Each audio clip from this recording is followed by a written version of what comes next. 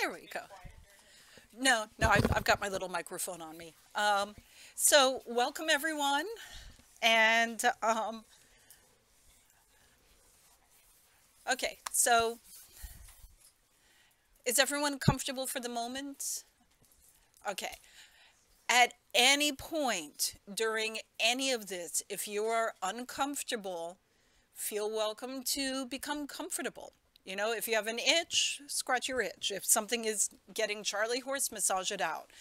If during the regression, because the regression will take probably, you know, I'm going to say it'll take a half hour, it'll probably take more like 45 minutes or, you know, sometimes an hour. You know, once we're in, if the so long as the energy is strong, we'll just keep staying in and doing more and more. So I don't know in advance that can be a long time to be sitting still. So if anytime during the regression you feel the need to shift position or even to stand up or to stretch, just, you know, uh, if you're opening your eyes, keep your eyes just kind of spaced out so that you're still in the experience. Like, you know how if you're doing a walking meditation, like if you're walking in the woods, you don't close your eyes. Your eyes are open or you'll be like, you know, doing a falling down, walking into trees meditation. Oh, I walked into the hornet's nest. Um, so even if your eyes are open, you can have your third eye still connected and receiving information. But if you sit with like a Charlie horse and a stabbing pain in your back and, you know, whatever, then it'll be really hard to connect. So just keep yourself comfortable and respect the space around people. If there's anyone who snores, then I'm going to ask please stay sitting upright um, because if you zonk out then and you're snoring, then later you'll be wondering why everyone's giving you the stink eye when you come back. Oh, that was a great experience. Why is everyone hating on me? Um, and um, let's see. And also, if you find you're someone who, as soon as you start meditating, you're like gone, and then later when the energy is coming back down you find yourself grabbed and returned with the group. You may want to stay sitting up to help keep your uh, your experience with the group experience. So later you'll go i remember what happened not well i feel great i have no idea what happened. Um, so i guess everyone in this room agrees that there is a possibility of reincarnation. Um, I have actually done past life regressions for people who do not believe in reincarnation. There are people who don't know what they believe, or there are people who do not believe it, but they know that when they go through this experience, it's very therapeutic with helping them deal with issues that they have. Um, so it doesn't really matter what your belief system is or um, what you do with this information, so long as you understand whatever comes through is coming through for a reason, for a purpose. Um, the past lives that feel most connected to us in this life are the ones that come through the quickest. And I can tell you, each and every one of us has had past lives where we're like, okay, so I was a farmer, I farmed, and then I died. Those lives are pretty much not going to come through for you in this regression. What will come through are the lives that are like, this person's here for a reason and a purpose, and I want to be a part of that experience. The lives that generally come through are the lives that are here to help guide you with your experience in this life or the lives that maybe did not complete their karmic lesson and they know that by being aligned with you in this life that will help them to complete their their lesson so that they're ready to go on to their next state of being. Or sometimes it's lives that are just sitting around they think that this is going to be really entertaining and so they're just hanging out watching and laughing at you um, so you may sense those lives, but they generally don't come forward as like one of the past life experiences. Um, and I, I call those like the peanut gallery past lives. They're like, oh, look what's going to happen. And come on, come on, let's hang out. We got to watch this. So you may sense them off like, some of my past lives are just laughing at me. Like, yeah, we, we get that every single life. Um, so some people wonder, how is it if we're alive in this life, our past lives are coming forward and communicating with us and guiding us. Um, and there's different ways of seeing this or, or explaining it. One way is to remember when we're not in physical form, we're beings of energy. You know, we're pretty much like eternal beings of energy that have a lot of energy to share. And uh, when we're in one life, when we're done with that life, the energy of that life doesn't cease to exist. It just absorbs back into the total state of being. So our past lives are able to be part of the collective, that is our higher self, our current life, our past lives, and our future lives, or they're able to be like stand out all on their own. Um, and uh, one of the ways that I like to visit past lives is actually to create a sacred space where I and whatever past lives wish to come forward, we hang out and have like a dinner party together or a cocktail party or a picnic. And we're all just sitting around like in a circle chatting, you know, like regular party conversation. And then if anyone's like, oh, wait, I have an anecdote anecdote that can explain what I mean, they'll grab me and pull me into their life and show me a portion of you know, the experience I had when I was at life. And then we go back to the party and I was like, oh yeah, yeah, I see what you're saying. And so it's, um, uh, for me, that's like a fun way because I love hosting parties. And uh, when I host a party for my past lives, they kind of have to show up. So I never get that, like, I threw a party and no one showed up situation. Um, there are different ways of connecting with our past lives. Uh, there's that way. Um, there's also one where you can feel which chakra maybe needs a little attention at the moment and connect with that chakra and say, which past life wants to help me with this? And then um, you can connect that chakra with your like your hara line or like the pineal gland where the third eye and the crown chakra come together, connect it together. And for me, it's sort of an experience where, say, uh, my solar plexus has some issues. I'm like, is there a past life that's the cause of this or the past life that can help me with this? Is there any past life situation? I'll connect my my solar plexus chakra with my pineal.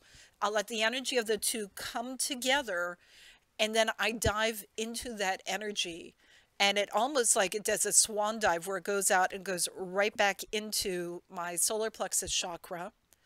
Uh, or it could be the heart or any other chakra. And the next thing you know, I'm thrown into a life that is connected with whatever is the issue I'm grappling with. And I'll see that that life may be the point of origin for my issue, or it may be a life that dealt with the issue, a similar or the same issue successfully to um, give me the energy to help with this issue. I don't know if that makes sense to anyone. I love you guys. That's so good. So, um, you know, the thing to remember is like, uh, you know, we talk with our guardian angel, we talk with our guides, we talk with ascended masters, we can talk with our higher self. All of our past lives are part of our collective that is within our higher self. We can talk with them anytime we want. Um, I'm going to give you a couple of little anecdotes. So one time, um, uh, this was many years ago, the very first time I ever saw a psychic medium for a session. The first time I actually paid money to see a psychic medium. And again, a long time ago, I thought I was crazy, like throwing my money away on something so bizarre. And um, so I'm sitting in the waiting room for Carl Davis, and um, it was my first time ever meeting him. And I'm just kind of getting myself into a quiet state. And um, suddenly I was thrown into a vision of a past life. And one of my past lives was walking uh, through this beautiful garden. Um, it was sort of like around Jane Austen type time. And she was obviously uh, a woman of noble stature. She was like a lady in waiting to a princess or queen or something. And um, and she was walking and she was chatting with a friend and she uh, turned around, looked me in this life in the face and winked at me and then turned back and ran up to her tutor, waving to him and saying, I have a question for you. And then I was thrown out of that vision. I'm like, well, that's strange. Now, keep in mind, at that point, while I didn't understand about psychic mediums, I thought that everyone could travel through time and dimensions because I always did that. So I didn't realize that was like the weird part, not talking to a psychic medium. Hi, come on in. We just started. It's okay. Yeah. Uh, we're just chatting out here, and then for the regression, we're spreading out. Um, so I went to meet with Carl, and I told him what had happened, and he said, "Wait a minute," and he tapped in, and um, like I didn't really give him details. I just said one of my past lives was here. And he's like, "Wait a minute," he tapped in, and he described to me very much what I just saw, only he was describing it from the perspective of the tutor watching the two young ladies walking over. And and so like we knew that he had been my tutor in that life.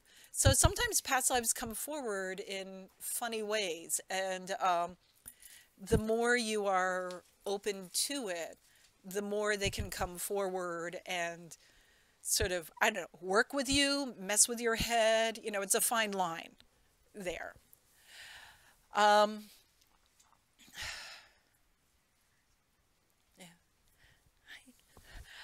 Um, so, connecting with past lives is a really powerful tool. It's not just about um, being curious about who was I before I was me. I mean, that's a big part of it and a big part of the fun of it. But it's also about um, why am I here in this life? And what of my past lives is here to help me and what of my past lives needs help from me so that my soul can be clean and clear. I had a past life that was about, I think, um, like 2,300 years ago. And no, 3,500 years ago. And he was like just horribly abused slave. He was, ne he never had a kind word to him, not once in his life. He never had a speck of love it was just a really, really horrible, confusing life for him. And when he died, he was like still bewildered as to why it was that way. And um, so he never reconnected to the higher self. He just stayed in this state of pain for like 3,500 years. And that meant every single life from him to me had him connected to them in their heart, this little element of confusion and pain. So um, I was in a past life regression led by uh, Hannah Papp, who is amazing. And, um, you know, we came out of the uh, regression and everyone's like, oh, this is great. I was like sobbing, like snotty sobbing. I was a mess, just like racking and uh, very embarrassed, you know, that everyone else is like, oh, this was great. I'm like, it's so painful. um, so uh, I, uh, Hannah helped me do a sacred ceremony where I went into sacred space, which can be like on an island, in a cave. Uh, this one was on um, you know, it can be in an, you know, a pasture surrounded by, you know, healing forest. This was on a butte mountaintop. And um, we had a sacred fire. And he came out and sat with me around the fire and we talked. And um, and he was like so scared. And um, I told him about some of the lives that we've been since him. You know, I said, You're not alone. You're like the big brother of all the lives that have come after you. And I told him about like amazing healing lives and, you know, good lives and this and that. And I said, and everyone is, you know, looks to you as part of us. And he was like blown away. Um, and I said, What would you like? What will help you to heal? And he said, Well, for one thing, I would like a name. Because, yeah, he never had a name. And I said, Well, what name would you like? Um, and keep in mind, this this slave was physically deformed. Like he made Quasimodo of the Hunchback of Notre Dame look handsome. He was born physically deformed, and he had been abused and beaten and whipped like every day of his life. So he was not a handsome man, but he was very intelligent and good um, and sad. So he said, I would like the name Dudley. I said, Dudley, why? And he said, I love those cartoons with Dudley Do Right, where he always comes along looking so handsome on his mounted steed and rescues Penelope Pitstop. And I'm like, from the Bullwinkle cartoons? I'm like, yeah.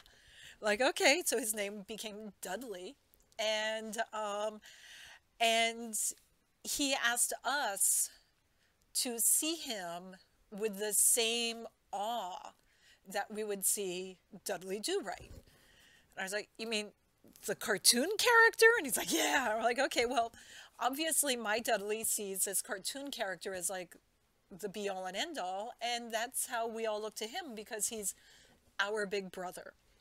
And over a number of years, he was able to resolve himself from this misshapen creature to a being of pure light and then rejoin the higher self. So he was able to do that without any pain on my side beyond that original, like, extreme pain of connection. Oh my God. But it turned out to be very beautiful, and he is now a wonderful guiding force for um, many of my past lives that still had unresolved karma, helping them to resolve their karma so they don't have to like come back and live another life to finish the lesson. So, yeah, so when you connect with your past lives, understand there's always a reason. And no matter what the experience of the moment, the reason is to help your soul with its total state of evolution. I am like so glad that I met Dudley and he is just like a joy. He has been nonstop, like he has 35 years of misery to like counterbalance with an eternity of joy, and he's he's doing it. Um, so no matter what you experience when you go into your regression, just let it unfold to you without any judgment, without any pushing it, without any like, oh, I don't like this one. Whatever comes forward comes forward for a reason, and the more you just open up and allow it to unfold without any effort on your side, as though you're watching a movie, you know, the more you allow it to take on its own life force, the more you can learn from it and weave the energies together for your total state of connection. Now, um, when we do the regression, every single one of you will have a different experience. And this won't just be the lives you connect with, it can also be how you connect with the lives. And each life you connect with may be a different sensory connection. Some people are really visual. So it could be you'll go into the life and you're actually watching it, like you're watching a movie. Some people are really empathic and you're maybe when you close your eyes you just see swirling colors. So you're like well how am i going to see my life? Open up and let the senses just receive what they receive. And you may find that wow i got an overwhelming emotion. Let yourself open and let the emotion overwhelm you and then you might get a full download of the life. Like in one second you get the whole life or it could be uh, you feel like you're reading a book or listening to the radio or like someone speaking in the back of your mind or you know however it comes into you open up. And the more you just receive without you know direct action on your side the more you just receive with full trust the more you'll be able to receive. Okay? Um, raise your hand to everyone here who's a visual person. Okay. Raise your hand, everyone, and it's okay if your hand goes up multiple times, who's an auditory person. Okay. Yeah, that's all right too. Raise your hand if you are an emotionally connecting or empathic person. Okay. Raise your hand if you ever get like codes or downloads. So you see, there's so many ways to receive. And I'll tell you, you can go, and it's okay if your hand goes up every time. and there's so many more ways we didn't even mention because I was just doing that for a point. That when you go into the past life, one life, you may find someone's telling you the story of a life and you're in total darkness. Like you may be in a void and you just hear a life being told in your brain, not even in your ears. And you're like, where's that coming from? What, what? Just let it happen. And then later, when you remember, you're like, it's as though I was there. I didn't see anything. I didn't hear anything. I didn't feel anything, but it was in my brain. And now I remember it as though I was there experiencing it. You know, so this is really what spirit vision spirit sight is about. It's not about looking for anything because we all know when you're looking for something, you will only see what you're looking for. It's about receiving however it comes in and then letting it present in however it will present. Um, and it could be the next life you're actually in the body experiencing it and you're like whoa i'm actually the me in there then at the whatever you know?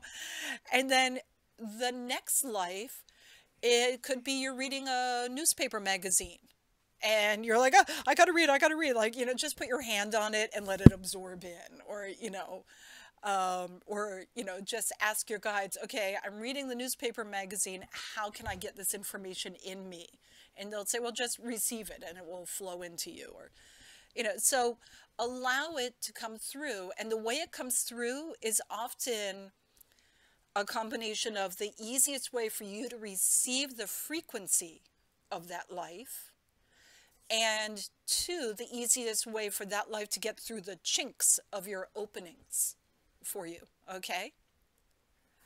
Um, okay. Good. I'm so excited. We have such a great group here today. You guys have no idea how I, am just like, my guides have been flipping out all day. um, so, um, yeah, and you guys feel welcome to move around whenever. Oh, yeah, yeah, here. That's quite all right. Um, okay. Well, I'll be moving a little more. In, like, I'll be sitting in the doorway during the presentation. Okay. Um, so, okay, guys, just give me like a couple more minutes and we'll take a short break to get set up. I just want to tell you how we're going to have the experience. Um, that's their choice. Um, how we're going to have the experience. I'm going to take you on a guided spirit journey.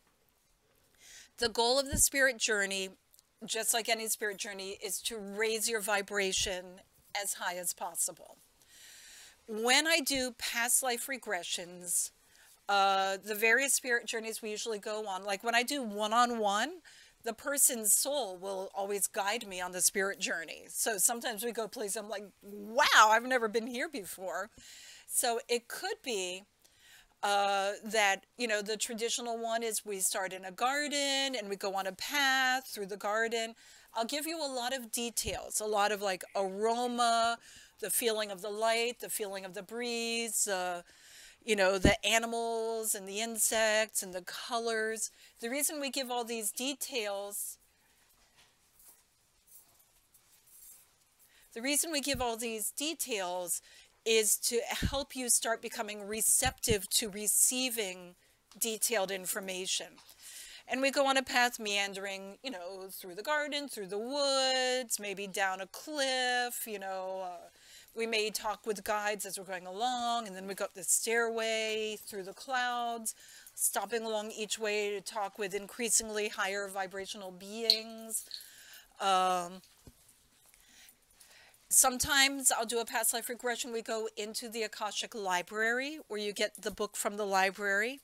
Today they want us to take um, a journey up to um, the Twilight Realm, the Bardo. Those of us that did the cord cutting yesterday, we're going the same place. The Bardo is the land between time and space. And um, there's a group of us who were there yesterday, so my guides already built a grid and connected everyone to it, so they want us back there. It's a lot. It's a land between physical and spiritual, and energetic. It's a place where whomever or whatever you call is contractually obligated to present themselves. It is also a wonderful place for past lives. We are going to go to the Twilight Realm which some people see almost like a, a Montana butte in the stars inside a void of nothingness. So, yeah, because it, it's between everything.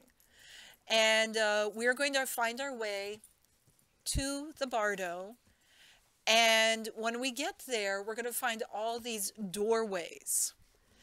Each doorway will be a doorway to one of your past lives. And as you approach a doorway, you'll feel yourself being drawn to certain doorways. Each doorway, when you look upon it, will have a look or an energy or a feeling or a sound that is resonant with the life on the other side of it. Just like when you go in the Akashic Library, when you get your book, every single past life will have a different looking book.